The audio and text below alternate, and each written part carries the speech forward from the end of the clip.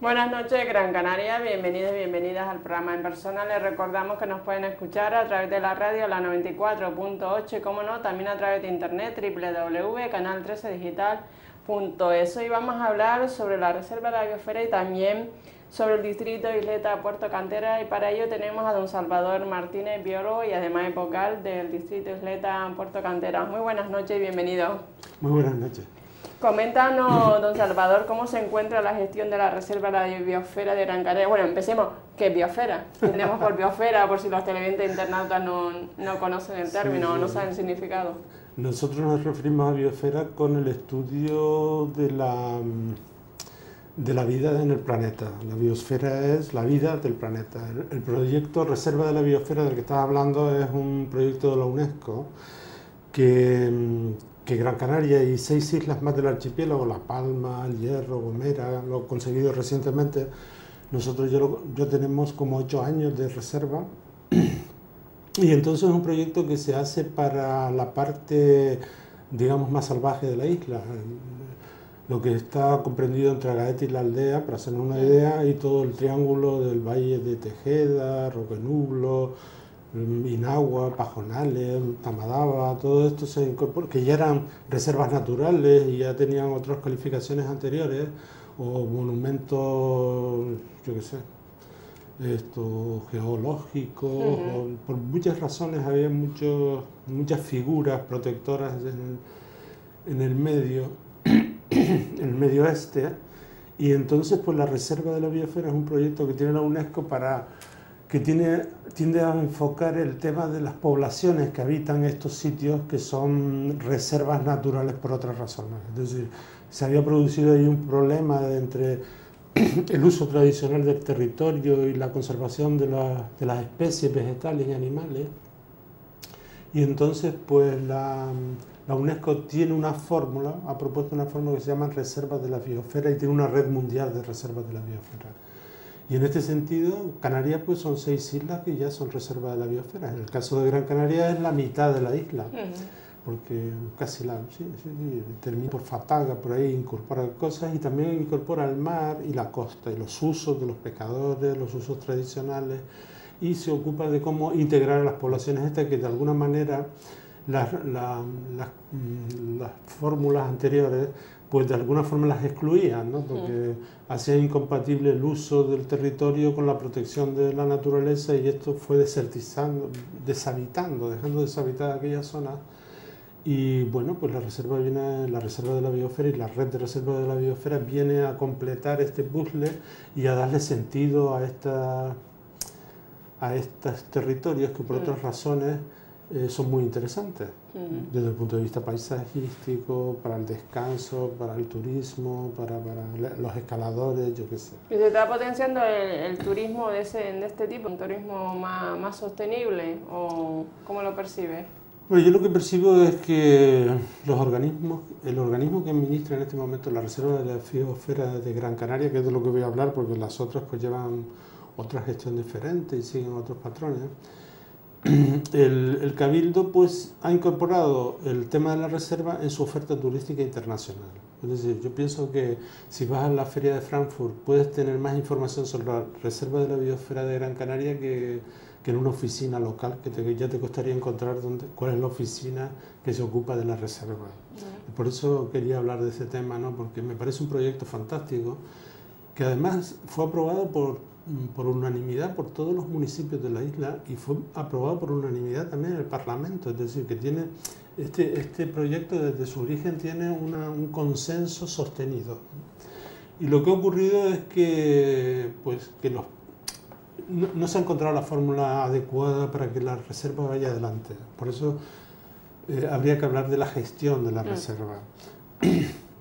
Porque claro, eh, siendo el cabildo el, que tiene que gestionarla, siendo el cabildo además propietario de casi todos los terrenos de la biosfera, porque el cabildo durante todo este tiempo se había dedicado a comprar estos terrenos que estaban muy degradados y, los ha ido incorporando en reserva natural, reserva de pilancones, parque protegido de no sé qué, etcétera, etcétera.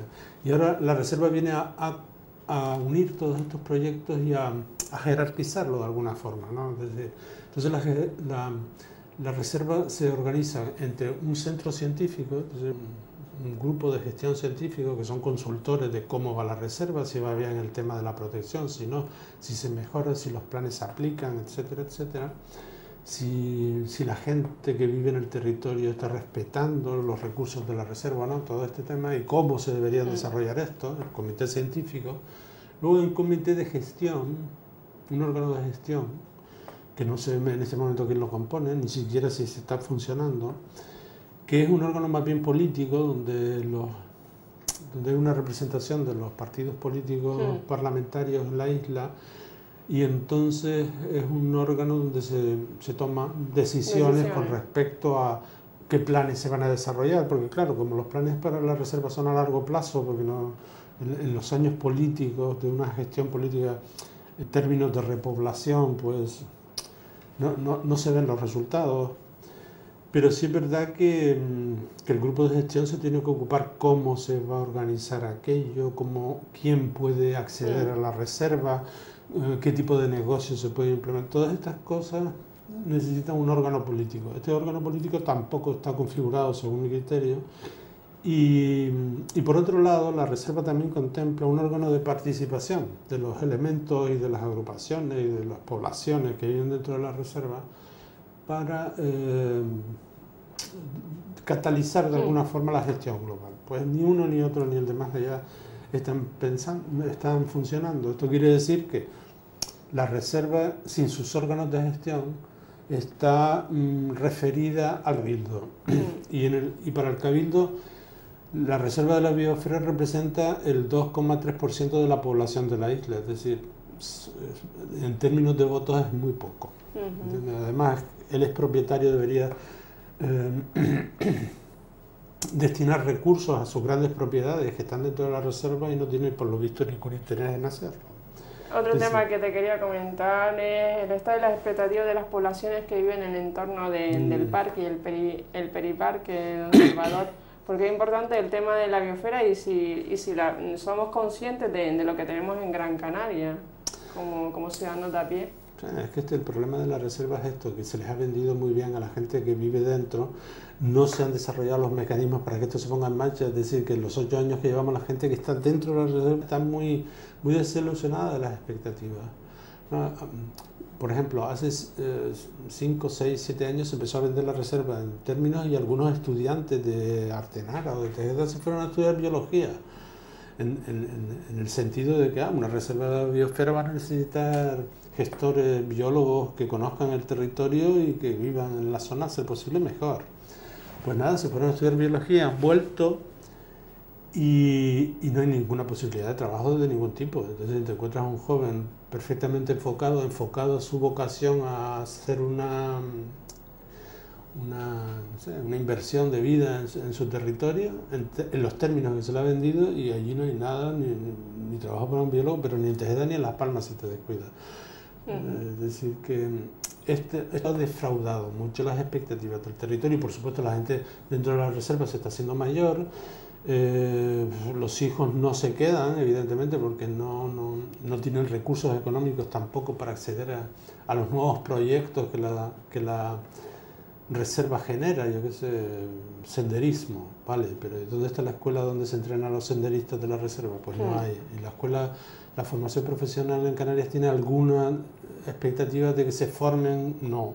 Es decir, hay una desconexión entre eh, las expectativas que la reserva genera y donde los políticos tienen sus preocupaciones, que no son en las reservas, evidentemente. Muy poca gente, cuanto más lejos mejor, las inversiones ahí cunden poco y son profundas. Y en, este sentido, pues, eh,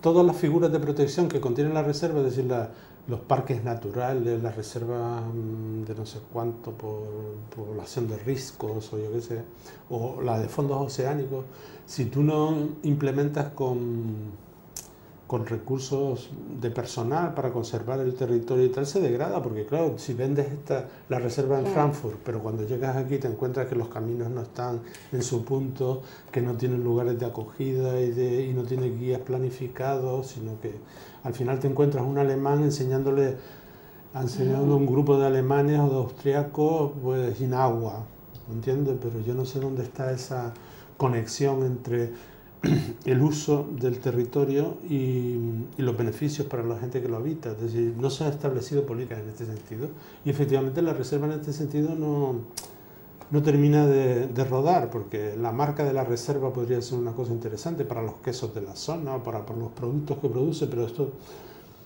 mm, ocho años y no se ha hecho mucho en este sentido.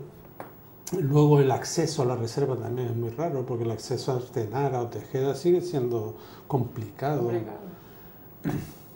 Entonces, mm, esto se ha dejado a la iniciativa privada para su gestión y para la iniciativa privada lo que necesita son recursos, evidentemente económicos, y quien tiene los recursos para invertir en este tema lo tiene ya claro, es decir, y no, es un, no son productos que surgen desde la reserva, sino son productos que utilizan la reserva como un espacio para ganar dinero en circuitos mayores. Es decir, que los circuitos turísticos en este momento que están utilizando la reserva, pues son casi todos extranjeros, guiados por extranjeros y, poco más.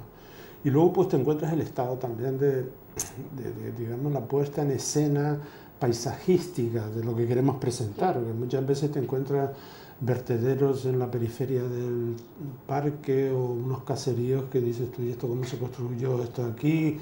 Mm, ¿Cuál es el sentido de todo esto? ¿no? Entonces yo pienso que hay falta de, de, voluntad, en definitiva política, o la ha habido, no sé cómo está en este momento. Yo he entendido que la consejera está muy interesada en desarrollar este tema, pero también me he enterado el otro día que, que, el presupuesto para este año se acabó el mes pasado, es decir, que tienen pocos recursos, no tienen el equipo científico preparado, no tienen el equipo de gestión, el órgano de participación no funciona, todo cae sobre el cabildo y el cabildo tiene pocos recursos, entonces todo esto es como que no funciona. Ah. ¿no? Entonces quería darle un empujón al tema de la reserva y llamar la atención porque me parece un proyecto muy importante, porque ya te digo, integra muchos niveles, integra la población también, integra el desarrollo, las formas alternativas de desarrollar un territorio como este y muchas cosas, ¿no? es como un proyecto total el tema de la reserva, si se enfoca adecuadamente. Pero tal como está siendo enfocado o cómo se está desarrollando hasta el momento es un poco como una pesadilla. ¿no? La gente se encuentra con que no puede intervenir en el bosque, ahora lo hemos visto en La Gomera. Gente que vive en el bosque pero que no lo puede usar porque es una reserva natural y si no los contratan pues no tienen trabajo y si no tienen trabajo no tienen nada que hacer y al final terminan provocando eh, para lo que lo contratan, que para que contrate, controlen incendios. Lo que pasa es que en este caso han destruido parte del patrimonio y son la gente del mismo lugar. Es decir, y, el último gran incendio que ocurrió en, en, la reserva de Gran Canaria también fue originado por un individuo en estas condiciones. Es decir, que el problema social es fundamental para la gestión de la reserva y no se enfoca adecuadamente ni se le da la formación a la gente ni se les involucra en proyectos que tienen sentido y tengan proyección de futuro para ellos y sus hijos, obviamente, ¿no? Y entonces, pues nada, entonces la, reserva es una oportunidad o una pesadilla, depende de cómo la, la, plantees, porque, por ejemplo, Tamadaba, no sé si has visitado Tamadaba recientemente, aquello es un aparcadero de fin de semana donde las instalaciones tradicionales de uso para, para el esparcimiento pues están desatendidas y, y, resulta que aquel era un sitio emblemático de la protección en Gran Canaria y ahora es un aparcadero de coches de fin de semana que, que arrinconan la vegetación para hacerse y cambian las piedras de sitio y, convierten aquello en una cosa. Y esto está dentro de la reserva de la biosfera. Y, allí no hay equipamiento o los mínimos para recoger, atender, dirigir el tráfico, dónde se puede aparcar, dónde no. No puedes llegar a Tamadaba y buscarte un sitio con tu coche y tu rulado y aparcar allí mismo donde quieras. Esto no, esto no es el espíritu de la reserva. El espíritu de la reserva es que llegues a Tamadaba efectivamente, pero que te encuentres con la naturaleza, no que te mm. encuentres con un parque suburbano mal atendido. ¿no? Y esto ocurre con mucho patrimonio del cabildo allí, es decir, los caseríos de Tirma, por ejemplo, unas instalaciones fantásticas, construidas en el modernismo canario y tal, muy bonitas, pues allí están sin uso para nadie. Allí están no sé, y son instalaciones que están en medio de unos despoblados increíbles y que merecen la pena para retirarse, para alquilar, para, para yo qué sé, para, hacer stage con niños, estancias con niños. Pero para personas mayores que dicen, pues, nos vamos allí 15 días, alquilamos aquello y nos quedamos allí un fin de semana. ¿Qué voluntad política entonces? Sí, se trata de los recursos que tenemos ponerlos en valor. Que en este momento tenemos recursos maravillosos. ¿Y con pocas perras serían, don Salvador, efectivo? Vamos a ver, yo pienso que, ya te digo, para mí el problema está en que hay muchos planes que se superponen.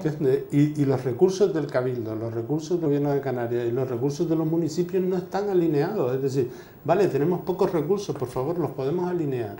Podemos poner a trabajar al Gobierno de Canarias, al Cabildo y a los ayuntamientos en el mismo sentido.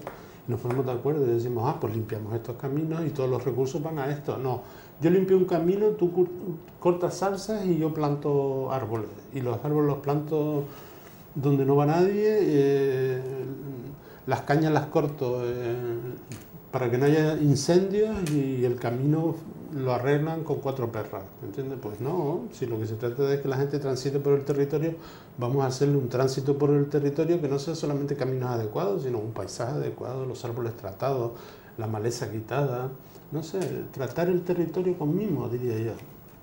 Y para eso necesita la gente del territorio y gente formada en el territorio, porque no puedes sacar a, las personas del, del, paro y esperar que te hagan un trabajo fantástico. Hay que entrenarlos en el uso de, de las herramientas. La gente ha asistido a la secundaria, pero se ha olvidado cómo funcionan las tijeras de podar y las máquinas de cortar. Aspectos negativos del éxito de la reserva, la vegetación en estado de camino y sobre todo la, puesta en valor de, los recursos de un Salvador. Nada, yo, te comenté este tema. Para mí el, tema es que el éxito de la reserva ocurre porque mucha gente está interesada en el tema de la reserva. Lo que pasa es que cuando llegas allí, ya te digo, llegas a Tamadaba y no hay nadie. Pues te aparcas el coche por allí, te quedas, eh, recoges o no. Eh, hay, mm, por ejemplo, los, todas estas áreas que se han abierto en los pechos y en los alrededores de, de la cumbre, donde hay instalaciones para que la gente se, se establezcan y pasen el fin de semana. Pues yo pienso que se ha hecho, que tiene muchísimo éxito, porque la gente lo usa mucho, pero claro, una cosa que se usa mucho hay que mantenerla mucho. Mm. Es decir, cuando tienes éxito en, en, naturaleza, significa que mucha gente visita el territorio, eso significa que produce mucho impacto, dejan residuos. Eh, mm, no dejan, tal vez pasan 60 y, dos dejan residuos, pero muy significativos. Eh, entonces está el tema de que van a mantener la vigilancia, hay que implementar los servicios de acondicionamiento de los espacios públicos, es decir, a ti te gustaría que si tienes un fin de semana de descanso y te quieres ir a la cumbre con la familia, cuando te llegues allí te encuentres aquí instalado, pero cuando te vas también esté recogido, es decir, tener la sensación de que aquello respira con las necesidades de lo público, no que de repente llegues y te encuentres los basureros hasta arriba o un mal, un mal equipamiento público, es decir, descuidado o a mí me parece, yo estos espacios los he visto en el extranjero y son espacios bellos. Hmm. Es decir, tú vas a los espacios públicos, son espacios bellos, que te gusta estar allí, están relajados, la gente los cuida. Es decir, cuando te encuentras con estos espacios, la gente los cuida. Y en Canarias somos, en Gran Canaria somos muchísima gente y, todo este territorio del que estoy hablando es un territorio casi desértico, es un territorio que invita a, al esparcimiento, a, a, a estar, a permanecer, a usarlo. Y lo tenemos aquí al lado, es decir, que mm. la reserva puede vivir de los recursos del otro lado de la isla si se organiza bien el circuito de un mercado donde las mercancías puedan ser encontradas, eh, que tenga una marca registrada, o sea, que te fíes de, estos productos, que accedas al territorio y lo puedas transitar de una forma ordenada, no como ahora, que no sabes si puedes pasar, si no puedes pasar, si el camino se corta, si hay camino, etc. Eso ocurre mucho en las bajadas hacia el norte desde la cumbre hacia el norte, no sabes si puedes entrar porque te encuentras cortijos privados, pero que, que, no vive nadie, es decir, son, digamos que son parcelaciones de la propiedad que han quedado ahí, pero ya no, no hay habitantes, pero no puedes entrar. Entonces, pues, esto es mm, desperdiciar recursos. Yo, yo, me he encontrado grupos de japoneses bajando por Moya hay que verlo. Y cuando yo veía por dónde estaban bajando me daba vergüenza a mí. Digo, pero ya está, porque el territorio, por ejemplo, en el norte no está preparado para esto. ¿no? Hay mucho deterioro, se han acumulado muchas cosas en el tiempo y no hay una política destinada precisamente a esto. Es decir, los pocos recursos que tenemos, vamos a preparar el territorio para ofrecerlo y en este sentido poder esperar que haya un un retorno de recursos, un retorno también de recursos públicos. Para mantener todo el espacio esto tienes que poner recursos públicos. Esto, la gente no se va a poner a limpiar los caminos y, y, y poner piedras mm, de motu propio por el voluntariado. Es una parte de, de mi crítica a la gestión actual que se, se apoya en el, en el, voluntariado para evitar gastarse dinero, pero claro, el voluntariado se cansa de limpiar una y otra vez los mismos sitios que se dejan porque no hay una política de contención. Contención, sí. Y entonces... Sí, eh, otro tema también que quería es el recorte en los presupuestos, porque estabas hablando antes de su significado. Porque si hablabas antes de que el Cabildo ya prácticamente ya se había gastado su, su presupuesto, estamos en el mes de septiembre, eh, no, septiembre, octubre, ¿no? No, no, ya eso fue en agosto. En agosto ya tenía acabado el presupuesto para la reserva de gastos. Entonces, entonces lo que le queda es personal.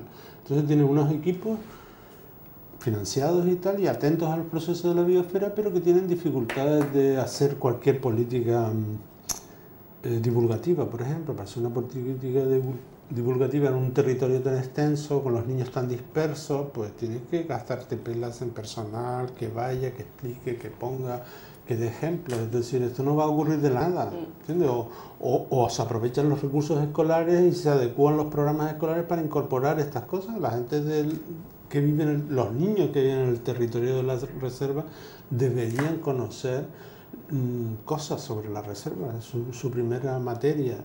Ya viven allí en infusión, pero también deberían entender cuáles, cómo, cuáles, qué valores tiene y cómo se, se pueden hacer que esos valores se conviertan en recursos para ellos y para vivir en el territorio. ¿no? Y entonces en este sentido, pues pues avanzamos, avanzamos así titubeantes, porque claro que, que, la gente se ha dado cuenta de la necesidad de la reserva, porque es un valor para ellos, pero están infrarrepresentados políticamente. Yo cuando te trato de decir que es el, cuando te digo que es el 2,3% de la población, es que ya tú verás, es decir, que, que, te vas a una reunión con políticos de cualquier enjundia y los de y los de Tejeda van a tener que decir mmm, pocas cosas, ¿no? Y los de Atená menos y los de Ayacata menos todavía, y los del Juncalillo menos.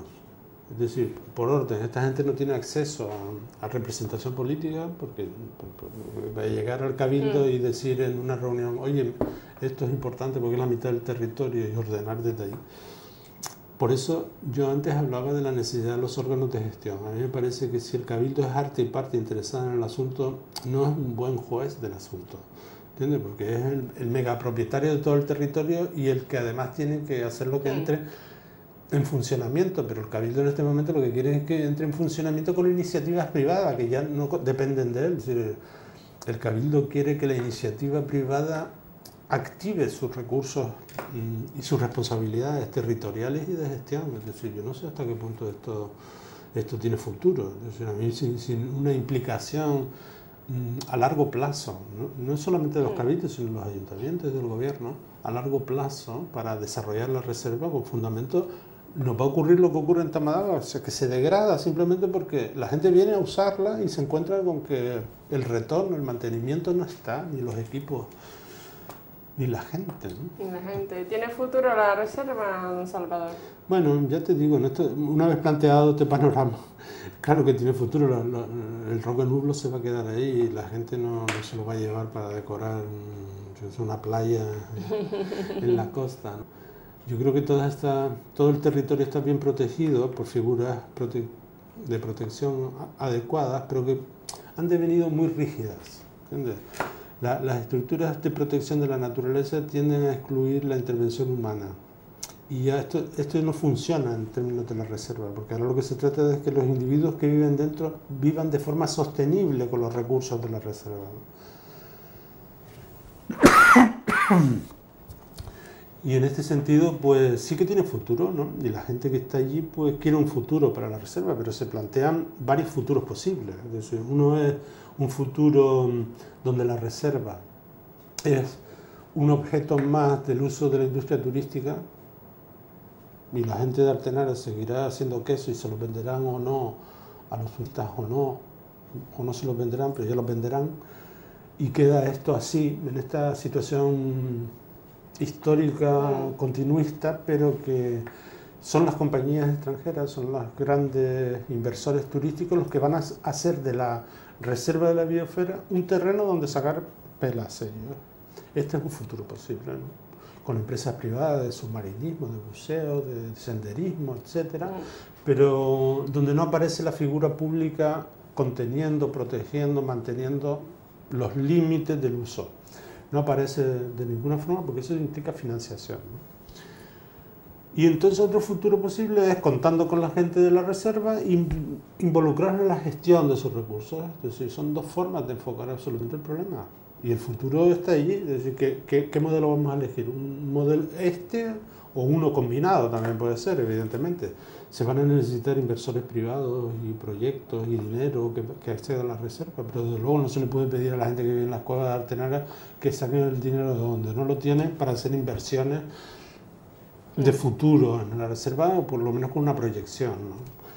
Entonces, de alguna forma hay que articular, porque además el, tema de la reserva nos plantea un problema muy importante, es de qué hacemos con los territorios y, las y los, las personas que se quedan en los territorios que, que, prácticamente están en el lado oscuro de Gran Canaria, en el otro lado. Entonces, ¿cómo, accede, cómo accede esa gente a Internet y, a los recursos tecnológicos contemporáneos? ¿Cómo están en la, la, la aldea global estas personas también? Porque se han quedado aislados allí, por lo visto parte de lo bonito de una reserva entendida de forma mm, de una forma es que sigan siendo tal como están y ellos no quieren seguir siendo tal como están ellos quieren que sus hijos progresen que estén al día que tengan recursos y que las niñas mm, viajen y tengan posibilidades de llegar a, donde quieran, ¿no? Donde quieran, exactamente. Quieren tener las mismas oportunidades que todos. Yo pienso que la reserva tiene recursos propios para potenciarlo. Lo que pasa de un modo distinto, obviamente. Aquello hay que gestionarlo de otra manera. Y en eso estamos, batallando a ver cómo introducimos que la reserva se convierta en en un objeto político importante. ¿Te apasiona el tema, don Salvador? sí, porque llevo mucho tiempo en el tema de la protección medioambiental, la recuperación de la flora canaria, la recuperación también del paisaje y todo este tema. Y, cuando aparece la figura de la UNESCO esta que engloba todo el tema, digo, tate, esta es la solución. Es decir, eh, articula eh, planes para los residuos silvícolas, pero esto es lo que necesita Gran Canaria hablamos de pastos y de convivencia con el pastoreo, pero lo que necesita Gran Canaria. Tenemos los pastos abandonados y, es un desastre. Podemos mejorar nuestros productos. Mm, en el norte se producen unos quesos maravillosos. Se pueden mejorar los pastos que están muy abandonados, porque, antes los pastos el terrateniente se ocupaba de de reponerlos, pero ya esto no ocurre. Tenemos los, proteccionistas, los protectores de la naturaleza y de las plantas en este caso, y de la fauna salvaje, tenemos que llegar a una concordia con los ganaderos y con los cazadores, es decir, tenemos que involucrar a los cazadores, a los ganaderos, a los, mm, a los paisanos del lugar, pero a los que a los a los senderistas esporádicos, a los turistas que vienen de no sé qué, a lo mejor pagando un canon de entrada a la reserva que facilite recursos para la reserva, hay que pensar en estas cosas. Ahora pagas por cualquier cosa, ¿por qué no vas a pagar por entrar en la reserva? Y este tipo de cosas, ¿no? No sé, pero esto hay que articularlo. Pues queda mucho por hacer entonces. Queda muchísimo por hacer, está todo por hacer. Todo por hacer. hay que integrar la reserva con los planes de enseñanza, porque están los planes de empleo, los, cursos de capacitación. ¿Qué, ¿Qué, vamos a proponer en el sitio de la reserva? Pues escaladores, habrá que formarlos, ¿no? Porque a lo mejor ya saben escalar, pero no saben hablar en inglés. A lo mejor necesitan un poco de idioma para poder hacer, para ver, subirse a las piedras y subir a otras personas con seguridad. En este momento, si quieres, el escalador te viene del Pirineo, hace la ruta de escalada de Gran Canaria, alguien que nació en Navarra pero esto ya te lo puedes encontrar por doquier. Y no, se trata de involucrar a la gente, me parece como importante esto. Y además es lo que la gente del territorio espera, porque llevan tanto tiempo allí, están tan pegados al territorio, que es una pena no, recuperar esos recursos y, y, darle una oportunidad realmente, pero una oportunidad se la tienen que dar los políticos, porque está mucho más allá de su capacidad de organizar, porque es una cosa que les excede, porque quién va a decidir el comité científico que, que regula la reserva? ¿El alcalde de Tejeda y el de Ayacata? Pues no. No, porque no tienen el nivel, porque no conocen a la gente, porque no saben ni lo que están hablando, tal vez. Entonces, tiene que funcionar todos los niveles. Y el cabildo involucrarse y, y, poner estos órganos de gestión funcionando y creérselo, que es verdad. Es decir, que, que se puede articular una respuesta coordinada del cabildo con los ayuntamientos y con el gobierno de Canarias. Estamos todos interesados en lo mm. mismo. Y, y, y, se trata de decir por dónde vamos, por aquí, por aquí, por allí. Pues una vez que decidamos por dónde, pues ahí vamos pero poner todos los huevos en el mismo cesto. Y como vocal del distrito Isleta de Puerto Cantera, Don Salvador, proyectos abortados en el distrito referidos sobre todo a los aerogeneradores y también la respuesta administrativa en 72 horas. Bueno, el distrito, esto es otro tema totalmente diferente, que es de la política municipal y de cómo se vive la política en esta ciudad. Entonces, en este sentido, pues el discurso va de colaboración, porque claro, estamos en un distrito y lo que somos somos vecinos. Los vecinos lo que queremos es que el distrito funcione bien, o sea, que esté limpio, que no haya disturbios, que no haya aglomeraciones, que el botellón no sea excesivo, que se recoja la ciudad pronto, que la playa esté limpia. Estas son las preocupaciones del distrito. Pero hay más, el distrito, el puerto, ¿cómo es? Isleta, Puerto, Puerto Cantera. No, no, ahora se llama Isleta Puerto Guanarteme. Isleta Puerto Guanarteme. Porque como las canteras no representaban ningún núcleo poblacional, pues le pusimos Guanarteme porque era en realidad lo que había. Pues este distrito, que, que está ahí, está en el mogollón, está en la entrada de los cruceros, de los 800, mm. no sé, mil cruceros que llegan todos los años, estaba el WOMA, que estaban las actividades en el parque, está la, playa de las canteras, que es un turboreactor en verano, los domingos y todos los días de la semana, desde las 5 de la mañana, está funcionando. Y luego tenemos la noche del puerto, o sea, tenemos un distrito que es casi un parque temático, por, sus, no, por, su uso, porque te, levantas, en el distrito te vas a las 9 de la mañana a cualquier sitio, a las 8, antes incluso, y cuando los cruceros vienen ya te ves una actividad en el puerto de carga, de cambio de aceite de los barcos y de las mercancías y de tal. El distrito se pone a funcionar muy temprano y los últimos madrugadores no se han terminado de volver a casa y ya está funcionando el distrito. Esto es como Nueva York, este distrito funciona desde primera hora, última hora con una actividad increíble y recibe muchísima mm. gente. Entonces es un distrito emblemático para mostrarnos al mundo, porque nos visita muchísima más gente y porque toda la gente de, la isla también viene a vernos y porque los de las otras islas también vienen a Las Palmas. Entonces eh, el, consistorio de Jerónimo Saavedra propuso eh, unos aerogeneradores en distintos lados de la isla, de la ciudad, perdón, y en ese caso de nuestro distrito, en las canteras, en las coloradas, encima del ayuntamiento tiene otro. Y la idea es que estos aerogeneradores produciesen energía, porque aquí en Las Palmas que vivimos en la proa de frente al océano está soplando aire todo el rato, una forma didáctica de presentar las nuevas tecnologías referidas a la energía y cómo reciclar todo este tema y hacer eh, que aerogeneradores individuales puedan ser conectados a la red y que la gente se pueda beneficiar de, mm. la, de la, energía que está produciendo y todo este tipo de cosas que son una, unas ideas fantásticas que aquí podrían venir muy bien y que están bloqueadas en este momento por el ministro Soria. Tenía que aparecer el señor Soria que ha bloqueado todo este tipo de inversiones en Canarias. Pues nada, el ayuntamiento de Las Palmas copia esta política, pero la copia esta política cuando ya los generadores están instalados y pagados. Es decir, que no los pone en marcha simplemente porque tiene razones ideológicas de que no quiere poner en marcha este tema. Y entonces es un escándalo total porque la isla Las Palmas del distrito es emblemático y le estamos ofreciendo a los turistas que vienen a vernos pues el sistema de aerogeneración bloqueado porque alguien en algún sitio considera que no, es, que no es la solución para Las Palmas, pero ¿quién ha dicho que sea la solución para Las Palmas? Es un asunto didáctico, es una forma de aprovechar, es utilizar eh, hacer asequible el potencial del cambio tecnológico en energías en la ciudad y no se contempla ese tema. Es decir, durante un año ahí están parados los aerogeneradores, así que quiero que los, los que nos están viendo hoy, cada vez que vean los, los aerogeneradores parados, tengan esta reacción de decir, pero ¿esto qué es? ¿Qué despropósito es este? Dice que no tenemos recursos y cuando ponemos los recursos se mal, malgastan. Se malgastan, efectivamente. Y no hay manera de que una administración de Las Palmas se ponga de acuerdo con otra administración de Las Palmas y los vecinos en concreto del, del distrito, que estamos en una política de vecindad, que no estamos que si el PSOE, que si el PP, que si esto, que si lo otro, sino que estamos para que el distrito funcione.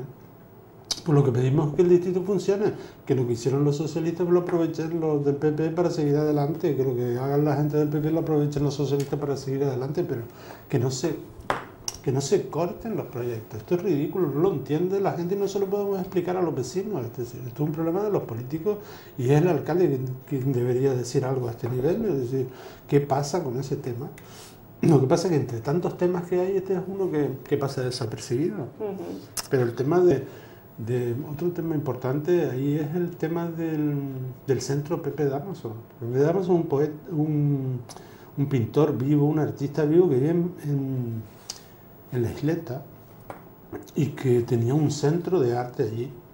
Un centro, como una biblioteca, un centro de, de tal. Y, y entonces en un solar del ayuntamiento y decidieron reformar con el plan Zapatero, se decidió, ah, pues hacemos le hacemos un centro, Pepe Damos está allí, bien dimensionado, con plantas y tal, un sitio de talleres, y que este hombre que está, yo no quiero decir que está al final de su carrera pictórica, pero que, que ya es un personaje establecido en el tema y que tiene mucha ganas y mucha vitalidad, por cierto, él está muy entusiasmado siempre con este proyecto, y resulta que se hace el edificio, nos ganamos el dineral, el, artista está de acuerdo en participar, quiere poner parte de su patrimonio dentro del, tema, quiere dedicar tiempo para, para, hacer cursos con gente y actividades en su centro. Se acaba el edificio en, en los términos del consistorio anterior, mm. porque los edificios hay que construirlos primero para poderlos usar y se construye y cuando se acaban los arquitectos van a entregárselo a la consejera pertinente del ayuntamiento y no lo quieren recibir porque dice que no tienen presupuestos. Entonces, la obra está terminada, el edificio está ahí con sus cristales preciosos y toda su galería, el artista quiere participar en el proyecto y el ayuntamiento no recibe la obra que le entregan los arquitectos y no se va a ser responsable del asunto y nos deja un centro recién hecho en tiempos de crisis en, un barrio como la isleta, que es un barrio que necesita, si, cualquiera que vaya por allí lo puede entender, que necesita inversión, civilidad, recursos mm, para la gente. Y nada, hacemos este tipo de cosas y el centro PP de no se mueve los aerogeneradores no se mueven y así tenemos muchas cosas en el municipio, en el distrito, de, tal manera que se bloquean los procesos y mm, derrochamos recursos y no avanzamos. Esto es una crítica personal que, tengo con este tema, pero el, ayuntamiento interviene en muchos otros en muchos otros áreas, por ejemplo, la, esta cosa que han hecho aquí en Mesa y López, que es un poco tarde. Que... Sí, lo de la eh, lo de la pavimentación, ¿te refieres? La, en la zona de Mesa y López. Sí, sí. La pavimentación de Mesa y López, por ejemplo. Llega tarde, mal, es indefinido, no, no termina de ser un carril bici, tiene asientos en medio, no se sabe para qué es aquello para sentarte no es porque pasan los autobuses dando un mazo de miedo, una cosa indefinida, ha quedado como, era un buen proyecto, el sitio lo necesitaba, pero se les quedó corto. Hmm. Que no tienen recursos para decir, todo es una cuestión de recursos para el ayuntamiento. No tengo recursos, no tengo recursos, no tengo recursos, y, pero hacen cosas. Ellos van tirando adelante con sus programas, haciendo cosas y efectivamente invirtiendo en el, en el, área del puerto, que es donde está el pastón. Hmm y mm, desatendiendo efectivamente las coloradas, las letras, cuanto más lejos del núcleo del centro estén, más olvidados están. Y claro, esto no funciona porque te vas a las coloradas y yo qué sé, el nivel de paro en las coloradas no sé cuál es, pero es altísimo porque la calle está llena de gente desocupada de todas las edades, desde los 12 años hasta los 20, 30 allí en la calle, todo el mundo. ¿Qué pasa? Estos son problemas sociales que el ayuntamiento tiene que abordar, alguien los tiene que abordar. Evidentemente el municipio y no hay políticas enfocadas a esto. ¿La ciudad ruidosa? ¿Considera la ciudad que es ruidosa? Nuestra ciudad, hombre, tiene sus aquellos, ¿no? tiene sus momentos ruidosos. Pero claro, es que es lo que te quería decir antes del distrito. Vivimos en un distrito que es un parque temático, o sea, que funciona desde por la mañana hasta por la noche con públicos diferentes. Es decir, la gente que utiliza la playa por la mañana no tiene nada que ver eh, con la gente que está por la noche usando el territorio. Y así, es decir, que y tiene oferta y los fines de semana sabes perfectamente que hay actividades de música en varios sitios de la playa, la gente está, eh, el Pilar funciona, la Plaza del Pilar funciona, Guanarteme funciona, metaboliza, se están abriendo muchos negocios en el área. Este es un área de los más activos, del, del, distrito más activo, la parte de Guanarteme se está poniendo las, las pilas. También es un distrito multicultural. Y asociativo también, sí, multicultural, porque hacen bastante, bastantes actos, ¿no? Sí, hacen muchos actos, pero también vive gente de, yo qué sé, de medio mundo. Sí. ¿Entiendes? Hay gente de todos lados en, en Guanarteme. En, realidad es un... Cuando se habla de Las Palmas ciudad multicultural, donde se manifiesta la multiculturalidad de una forma desbordante es en el distrito. Y esto también genera problemas. Y sin embargo problemas de integración, los niños, cómo va esto y tal, y sin embargo el distrito está funcionando muy bien. Los, los agentes provoca los problemas que hemos tenido en el distrito son de agentes que son ajenos a él, que usan el distrito de una forma que no nos conviene, pero que el distrito funciona bien, tiene una digestión, ves los niños van al cole, los padres que lo acompañan, hay bastante seguridad. Claro que el distrito podría estar mucho mejor, podría estar más limpio, los parques mejor atendidos eh, las zonas indefinidas que son públicas y privadas, que no están muy claras, también deberían estar mm, mm, contenidas en el mantenimiento, porque estamos hablando de un parque temático. Decir, lo que quiero decir es que el tour over, del, el movimiento dentro del distrito es intenso, es como en un parque temático, llegan autobuses a un parque temático, cuando se van a estos autobuses hay un servicio de limpieza, es decir, si el distrito se está comportando como un parque temático, tenemos que darle el servicio de un parque temático, es decir, recoger cuando, cuando se acumula el material de desecho de que inevitablemente se va a acumular. No, no, tenemos recipientes para el tránsito de gente que hay allí. Hay que limpiar varias veces al día, como hay que recoger la playa con frecuencia. Es decir, hay que mantener el negocio activo. Y esto es una cosa que todavía no está clara. Yo no lo veo claro ni por parte del ayuntamiento claramente. ¿no? O sea, se mueve, pero como, como aduce que tiene pocos recursos, yo creo que lo que tiene son pocas ideas buenas. Ideas tienen, pero pocas ideas pueden. Sí, que sean integradoras, que funcionen para todos, porque ellos siempre tienen ideas que funcionan para, para los que les funcionan. Y dejan al margen al, a la gente que habita el territorio. Es un parque temático un tanto especial, porque es un parque temático donde habita gente. Es decir, que nosotros los habitantes del parque temático también queremos los servicios que se le dan a los turistas, es decir, porque estamos compartiendo el mismo espacio y tenemos que protegerlo. En este sentido, la gente del distrito yo creo que está muy concienciada, progresivamente concienciada, en el hecho de, de que esto es lo que funciona y que mantener el distrito bien presentado es un interés colectivo y de todo. Y yo creo que hasta ahí hemos llegado. O sea que ya no hacer vandalismo en el distrito eh, está mal. Está muy mal porque, porque es de donde nos ganamos las pelas y, hay que atenderlo. ¿no? ¿La situación de los ocupas en Las Palmas, en la ciudad? Hombre, esto crea mucha intranquilidad, obviamente, en el barrio, ¿no? porque al final los ocupas no son eh, buenos salvajes. Los ocupas son gente que tienen relaciones de pareja y enemistades y consumen y, gastan y, tienen servicios y también tienen necesidades de, sanitarias y de todo. El problema de los ocupas para mí es más bien el de los propietarios de, esto, de estas instalaciones que, que, se, que los bancos han quedado, normalmente los propietarios son bancos que no se responsabilizan de sus propiedades. Entonces evidentemente se ocupan y entonces es un problema para los, habitantes del barrio porque tienen una gente allí, un tráfico incontrolado.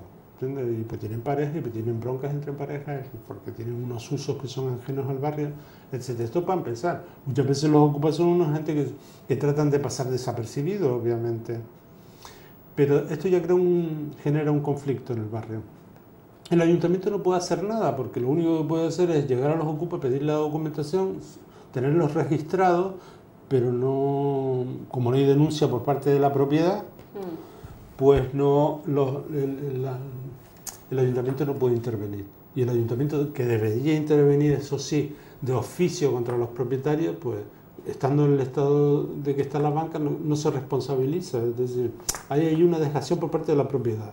No es un problema de ocupa, es un problema de dejación de la, de la, de la propiedad. Porque ocupas ahí el jardín, ocupas ahí en todo el territorio. ¿entiendes? En Marzagán, de Maraceite, con una casa que esté un poquito floja, allí te atacan. Y no iba a ser menos Guanarteme. Y para ir finalizando, don Salvador, ¿cómo percibe la situación a nivel de allá, a nivel nacional, con la, la manifestación o concentración en, Madrid, una concentración espontánea? No sé si gracias a las redes sociales o la espontaneidad de, de los ciudadanos que fueron a, a, concentrarse, ¿no? Hombre, a mí el hecho de que ciudadanos pacíficos se manifiesten democráticamente democráticamente en el sentido de pacíficamente. O sea, mm. La democracia es yo me manifiesto porque, porque ya no soporto más una situación, pero no descargo contra lo público porque lo público me pertenece. Es decir, estamos manifestándonos contra el gobierno y la forma de gobernar, básicamente. Y entonces, bueno, es una estrategia arriesgada, se lo ha ocurrido a los españoles, esto no lo, hacen, no lo han hecho en ningún lado del mundo. Entonces vamos a ocupar el, el Congreso, de los Diputados. Pero claro, era, era, un chiste. La gente no iba a ocupar el Congreso para desplazar a los congresistas y no sé qué, sino vamos a... Luego quedó en vamos a rodear. Efectivamente, la gente lo que proponía es vamos a presentarnos delante de los órganos de la nación y vamos a decir que no estamos de acuerdo con su gestión. Esto yo creo que es el, punto central de la polémica. Y claro, el gobierno de derecha, con sus TIC de derecha, con la experiencia de lo que ha pasado el año pasado con el 15M, viendo los programas internacionales cómo se han tratado todos estos temas, pues empieza a pensar en los los, digamos, la gente que se concentra en términos de partidos políticos. Pues no funciona, señores. En términos de partido político esa masa no es comprensible porque, porque no, la, no la ha llevado ningún partido político allí. En términos de radicalización aberchale, pues tampoco, porque un señor con un bastón y un jubilado no es un aberchalizado. Es decir, no te llevan los niños a una manifestación donde va a haber una bronca, va a una manifestación pacífica. Pero claro, cuando los, los, estrategas del Ministerio de Interior empiezan a interpretar que es un ataque al Congreso, que es un golpe de Estado y que es un grupo insurgente y empieza a tratar a los manifestantes pacíficos como un, grupo insurgente, pues se establece un despropósito conceptual. Es decir, mientras unos se están preparando por una guerra, los otros van a una reivindicación cívico-política. Y claro, el, mal análisis por parte del gobierno de la situación, mm. porque ya se lo estaban advirtiendo la gente de izquierda, que se estaban equivocando con respecto a cómo estaban analizando el asunto, pues efectivamente llega un mal análisis, un mal posicionamiento de entrada, un mal posicionamiento conceptual de lo que estaba pasando, llevó a un conflicto que mira, al día siguiente la gente se reunió pacíficamente y desapareció todo el mm. conflicto, y que fue muy mediático, y que lo vio Tarentino, que Tarentino dijo que que era fantástico. Claro, mm. Tarantino, que es un provocador mm. increíble, dijo que era fantástico y es un movimiento de masa coordinado, que él no había visto una cosa igual. Yo, estaba pensando, digo, no, es que aquí la gente tiene mucha práctica de moros y cristiana. Entonces tú empujas para acá y empujas para allá y luego sales en la, en la tele y, y, salimos todos en la tele, vamos. Pero no, sí, eh, ocurrió esta cosa, pero me parece patético, de verdad. Eh, yo creo que los políticos se podrían poner a escuchar más atentamente de lo que está ocurriendo en realidad. Y si son impotentes, si los políticos en este momento son impotentes para resolver la situación, que se vayan, por favor. Que dejen el espacio para otros modelos, para otras propuestas. Pero lo que no pueden hacer es ni tiran para adelante, ni resuelven, ni son capaces de llegar a consensos ni desde luego se van a poner contra la población. La población no vamos a permitir que los políticos se conviertan en, ajenos a nosotros, porque son nuestros representantes y le vamos a pedir responsabilidades. Y yo pienso que parte de, la, de esto, de, de la concentración de estos días, era que la población, al margen de los partidos políticos, se han organizado para pedir responsabilidades al gobierno por lo que nos están haciendo a cada uno.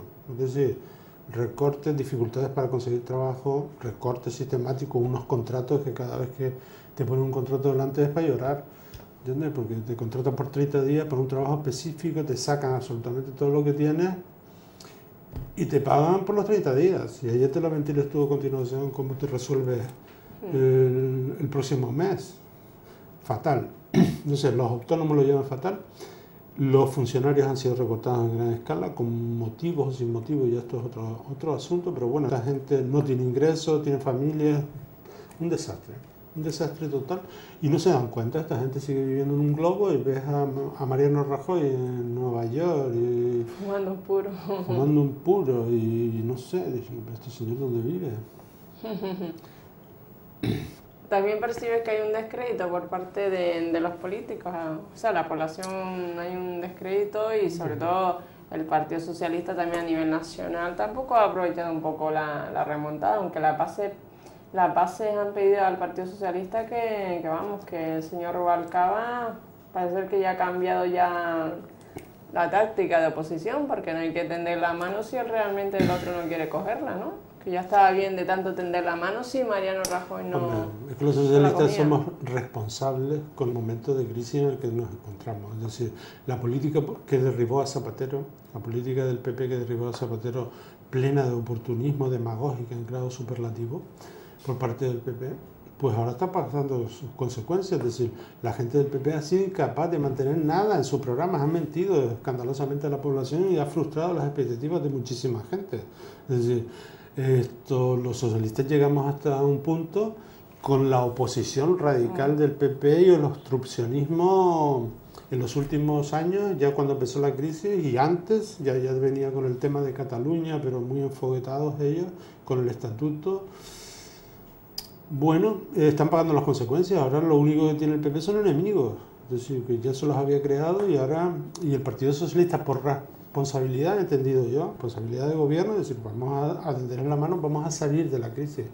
El PP pasa olímpicamente de la, de la colaboración con el Partido Socialista, viven en su azotea ideológica absolutamente convencidos de la bondad de su proyecto y van como zombies y nos llevan a todos detrás y la población ha empezado a reaccionar diciendo, no, no, no, no, por ahí no queremos ir porque, nos están destruyendo, básicamente, están destruyendo nuestra forma de ganarnos la vida, las expectativas de futuro, están obligando a la emigración a un montón de jóvenes muy bien preparados, yo qué sé, ayer salió una noticia, 15.000 enfermeras iban a contratar a Arabia Saudí, es que es mucho, 15.000 enfermeras, ¿sabes cuánto cuesta formar 15.000 enfermeras? ¿Entiendes? Que ahora se nos vayan a Arabia Saudí y son estupendas, que son de las mejores formadas de Europa. ¿Entiendes? Esto no es justo, no me parece justo, porque el plan de vida de estas personas no es irse a trabajar a Arabia Saudí. El plan de, de, vida de estas personas es vivir en su territorio, con sus recursos y con su gente. Y el tema educativo Salvador, ¿cómo lo percibe? Educativo me refiero no solamente a lo, a lo que es educación secundaria, sino también lo que es la educación universitaria, que las carreras ahora se van a eternizar debido a la subida de las tasas universitarias y sobre todo también la reforma de la ley educativa, una reforma mm, ideológica. Totalmente, pero es que precisamente los, los, universitarios que salen muchas veces de las universidades españolas tienen que hacer másters para llegar a las empresas privadas en muchos casos. Es decir, las empresas privadas necesitan acondicionar el material bruto de las universidades para seleccionar su material. Pero ya las universidades privadas tienen sus propios mecanismos de entrenar a su propia clase. Es decir, que ya ellos ya se están proveyendo de los tecnócratas que van a necesitar para sus propios recursos. Es decir, la educación masiva al alcance de todos, la igualdad de oportunidades y tal, era muy real cuando el gobierno, el Estado, absorbía a través de los profesores, a través de médicos, médicos militares profesores y funcionarios medios estaban contratados por el gobierno, es decir, y, las universidades te formaban para ser, yo sé, abogado del Estado o, o, algo, algo público, es decir, y ha sido un shock total, es decir, la formación pública se encuentra con que mm, las grandes empresas sí seleccionan a los mejores, pero tienen dificultades por con, con, la educación universitaria, como está planteada, poco operativa, poco práctica. Mm. Ellos necesitan gente mucho más enfocada y sobre todo más servir con, con los intereses empresariales. El universitario español sale efectivamente con un, con un gran aspecto ideológico, de posicionamiento y muy culto. Y entonces pues tenemos este conflicto, la educación es un motivo de batalla, pero hoy motivo de batalla y de confrontación es todo, es la economía, la, la educación, la religión, todo están confrontados, es decir, son modelos que aparecen y que son antagónicos, se perciben como antagónicos.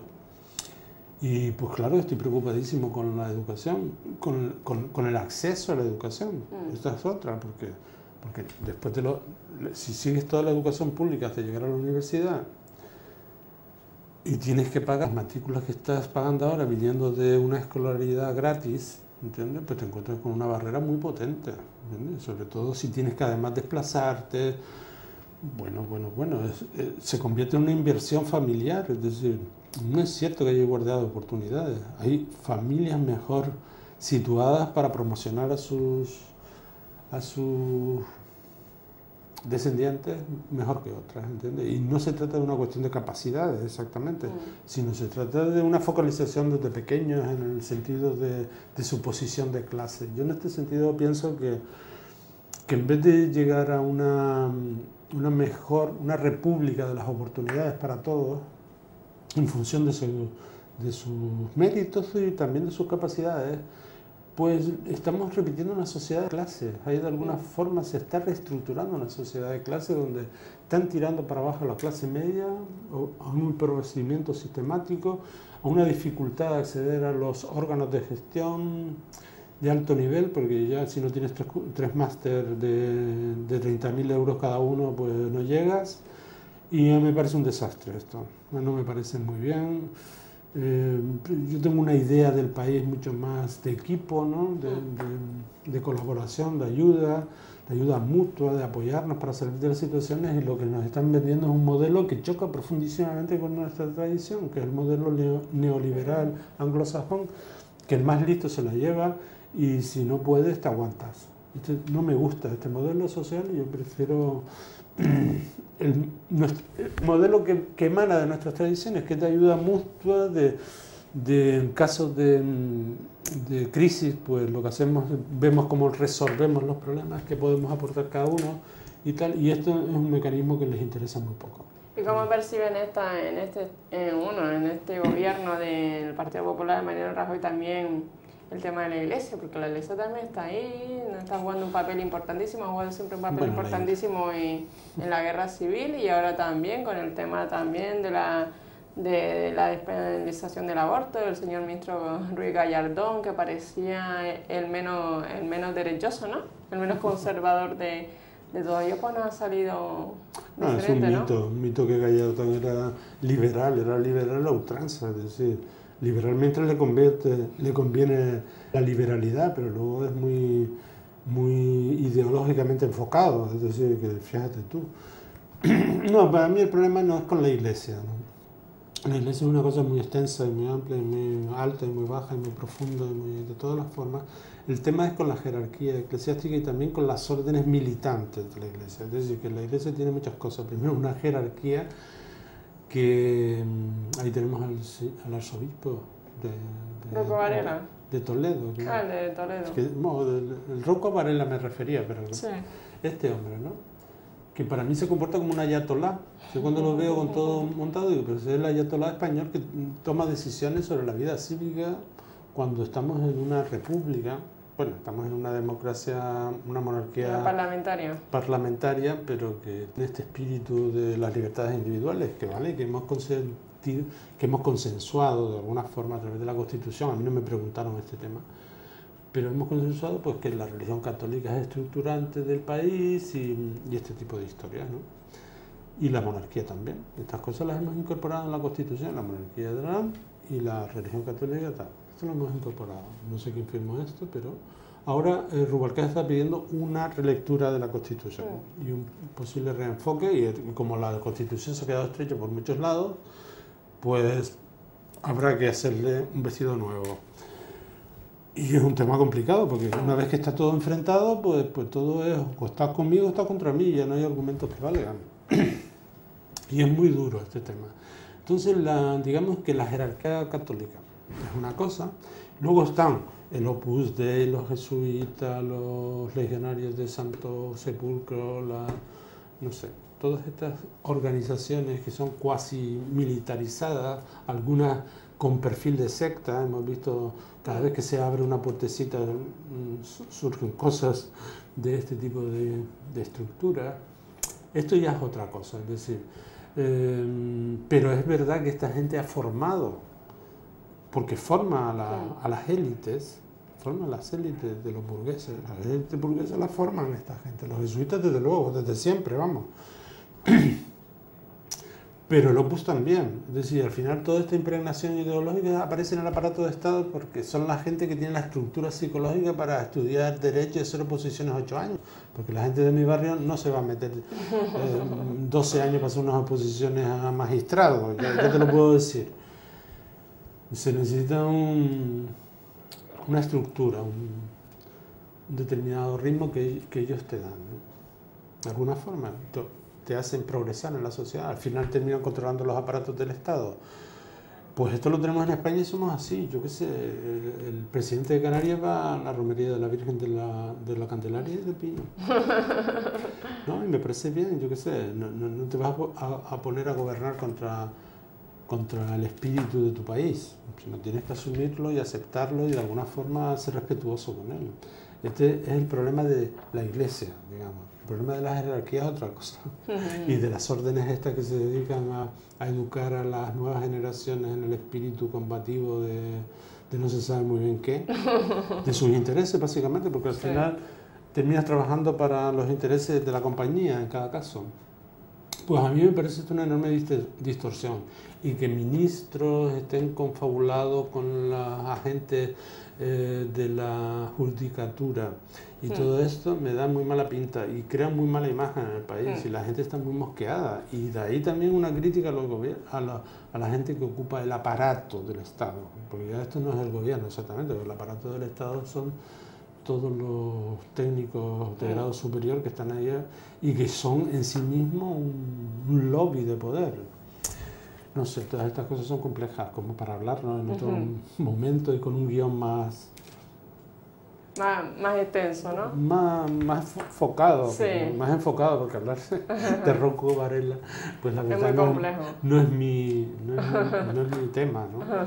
Vale, pues muchísimas gracias, don Salvador Martínez. Esperamos verte por aquí de nuevo con otros otros temas de interés para todos. Gracias. Pues encantado. Gracias a nuestro, a nuestro compañero, don Salvador Martínez, biólogo y también vocal del distrito Isleta de Puerto Buenarteme. Espero que la entrevista de hoy del compañero don Salvador Martínez haya sido sagrado. Muy buenas noches, Gran Canaria.